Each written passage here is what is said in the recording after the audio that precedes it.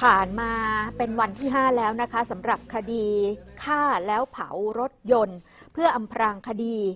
นายสุวิทย์เกิดแก้ว หรือแต่งไทยท่าวุ้ง ที่ริมถนนเลี่ยงเมืองลบบุรีค่ะ เหตุการณ์เนี่ยเกิดขึ้นเมื่อ 16 มกราคมนะคะ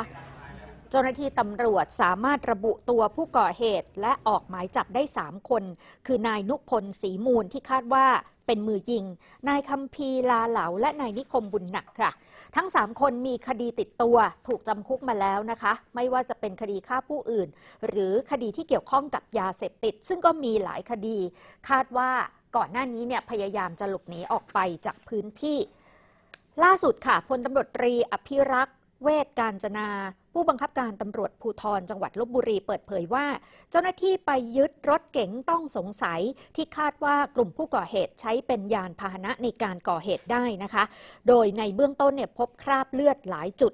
ในรถที่อาจจะเป็นเลือดของกลุ่มผู้ต้องหาที่บาดเจ็บนะคะ ขณะนี้อยู่ระหว่างการตรวจสอบเพิ่มเติม นอกจากนี้ยังพบว่าเป็นรถที่รับจำนำมาใช้แผ่นป้ายแผ่นป้ายทะเบียนปลอมค่ะ ภายในรถพบวัตถุพยานที่เชื่อได้ว่าใช้ในการบรรทุกถังน้ำมัน ล่าสุดเจ้าหน้าที่จับผู้ต้องหาได้หนึ่งคนคือนายนิคมบุญหนักนะคะ รายละเอียดจะมีการแถลงอีกครั้งค่ะ